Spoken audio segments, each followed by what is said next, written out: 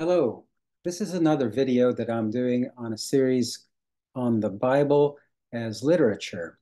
And today I want to talk about several uh, special topics related to the Bible as literature on the genres of proverbs, yearbooks, and treaties.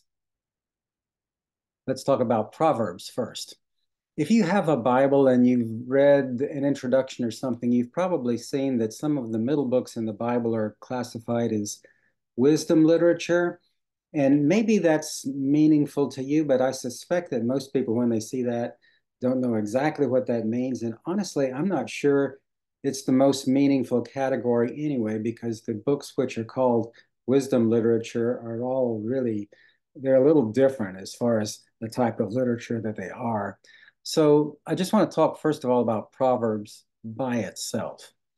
A proverb is an example of this uh, proverb here, 10.1. A wise son makes a glad father, but a foolish son is a sorrow to his mother. Now, the book of Proverbs itself is really divided up into sections. Chapters 1 through 9, they talk about wisdom. They're not really proverbs. They're not individual proverbs. It's mostly the benefits of wisdom and warning against immorality is what's common in chapters 1 through 9.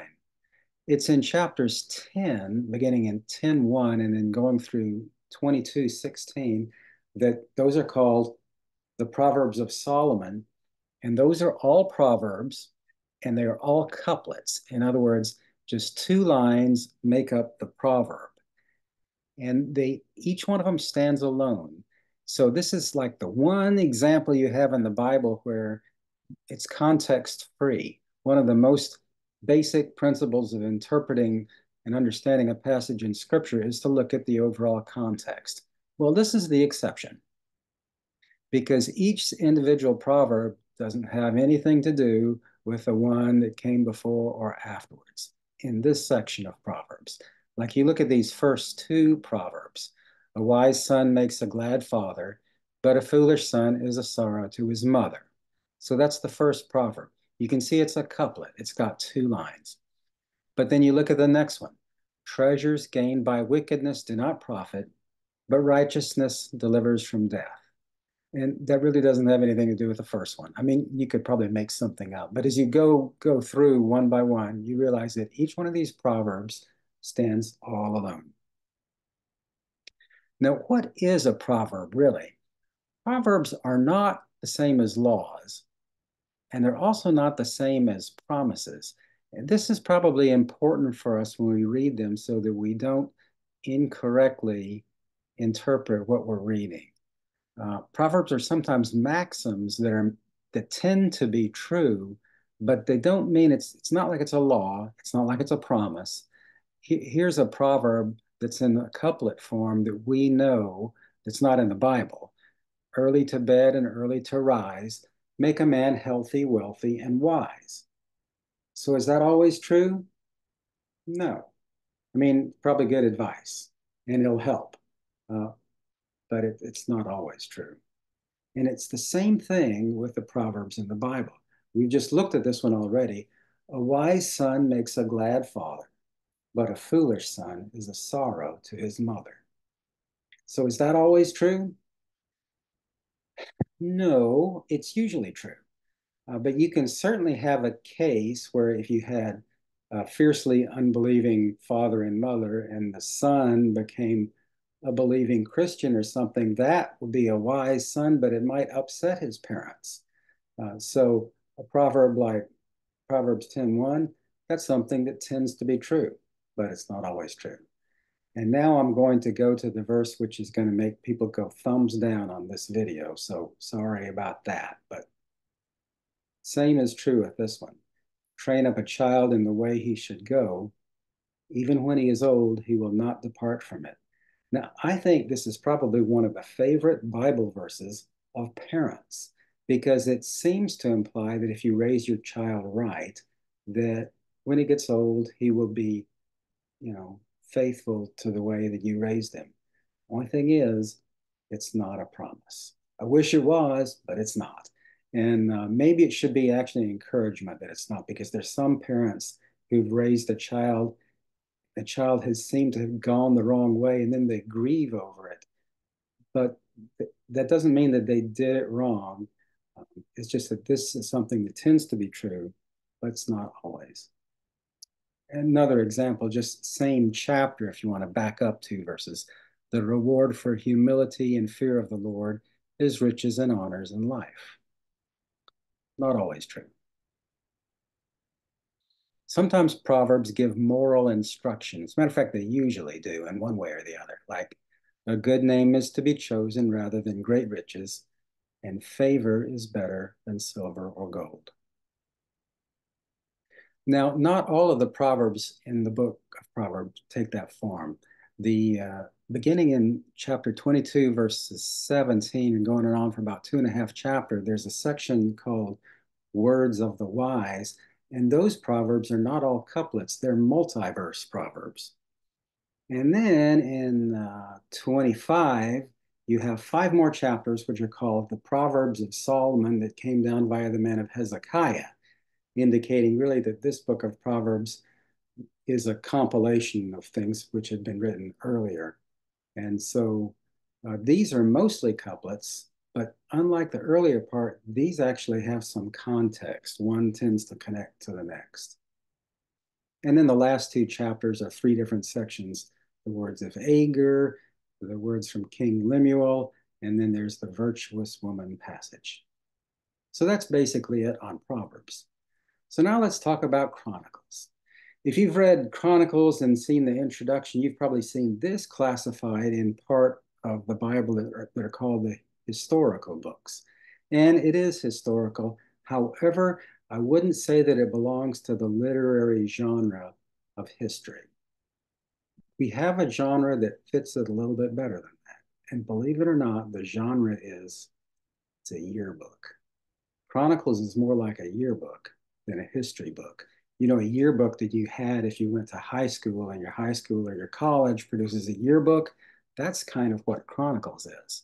It'll certainly give you some of the history of your year at school, but it's not really the same as a history book. For one thing, in a yearbook or in a school newspaper or a local newspaper, you're taught as a journalist to put names, names, and more names, as many names as you can possibly get in there because you know, if you put a kid's name in there who scored a goal on the soccer team, his parents will buy five copies of the newspaper. And I don't know that they were buying copies of the Book of Chronicles, but it has the same feature that it put in the book about as many names as could possibly be put in there, uh, mostly in the genealogical passages. Chronicles focuses on Judah. So if you compare it with First and Second Kings. It has a lot of the same history, and it even seems to have drawn, from a literary standpoint, from First and Second Kings. But it mostly leaves out the things that are related to the northern kingdom of Israel. So Chronicles doesn't have anything about the very famous passages about Elijah and Elisha and some of the other things about the northern kingdom of Israel it emphasizes a really heavy emphasis on the wonderful worship experiences that they had during Israel's history. And it's doing that because it's trying to encourage people to, to worship the Lord. And the way the Chronicles actually ends, it's trying to encourage the exiles who are who had to leave the land of Judah to return and build and live in the land of Judah in Jerusalem and resume worshiping the Lord. The negative stories, which you find in First and Second Samuel's and First and Second Kings, are some of them, really kind of a lot of them are left out. Even some of the very famous ones like David and Bathsheba, it's not in there at all. And the reason is because that's not the purpose of the book. It's a yearbook. And a yearbook doesn't tell all the bad things that happened in school. It's to give you good memories of the school. And then Chronicles also does some interesting things that yearbooks tend to do.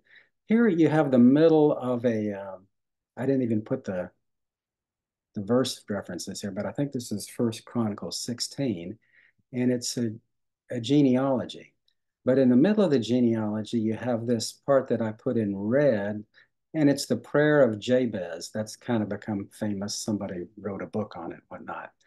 But the thing that I would like to point out about that is not only is this just stuck there in the middle of the genealogy as a sort of decoration, but Jabez is not in the genealogy. You know, he's not eh, one of the ones that was fathered, and he's not the father of anybody going on. It just is is put in there to decorate the the passage there in the genealogy. And here's another example. First Chronicles 16, uh, I guess the Jabez wasn't in First Chronicles 16, it was a little earlier. In First Chronicles 16, they bring the Ark of God into Jerusalem, and David sets it up there, and they're celebrating and offering burnt offerings and worshiping the Lord. And then in verse 8, it starts in with this prayer of psalm of praise. And so give thanks to the Lord, call upon his name. And it has about 15 verses, which are the same as Psalm 105. And also it's taken from Psalm 96 and 106. Now, a couple things to say about that. First of all, those are actually not Davidic psalms. If you if you go and read uh, in in the book of Psalms, they're not assigned to David. And based on what they say, you would kind of conclude that they might have been exilic or post-exilic psalms written later than David. And I think that they probably were. Uh, so why does it show up here? Well, once again, it's a psalm of praise to the Lord that is decorating and celebrating this thing. It doesn't say that David David was the one that spoke the psalm. It's just placed there as a psalm of praise and worship to the Lord. So that's an interesting thing about Chronicles, and it might help us to understand it a little bit more. The Deuteronomy. Deuteronomy may be the most famous book in the law. It's, it's almost the most totally law-like book in the law but it's actually structured as a suzerainty treaty. Now, people wonder, what in the world is that? So what that is, is it's a second millennium BC treaty between two unequal parties. In other words, it's a treaty where one part is one party is going to be the lord and the other party is a vassal. So it would be like normally two kingdoms and one has subjugated the other and they've signed a treaty where the one has to agree to obey the other. But in the book of Deuteronomy, Yahweh is the Lord and Israel is the vassal. If you want to read a little bit more about it there, I, referenced the book that I wrote dating the Old Testament, but you could also, if you don't have that, you could Google the treaty between Mursili and Duppi Teshub. And I'm sure you'll have to pause the video if you want to do that because you will never remember those names but that will give you a little bit of information of an example of a suzerainty treaty. And what they do is they follow a certain outline. These treaties will have a preamble, historical background, stipulations of the treaty, invocation of witnesses, a deposition of a written copy, and then curses and blessings. And this is the outline that all these treaties follow. And interestingly enough, Deuteronomy does the same thing. The preamble is right there at the beginning of the book. And then after the first five verses, there's a historical review of where all Israel traveled and what they did. And then beginning in chapter four and going through most of the book, that's the treaty stipulations. We think of that as the law, and it is, but that's the, the stipulations of the treaty, the way that this is organized. There's two different passages where they call the witnesses. And then there's a deposition of a written copy.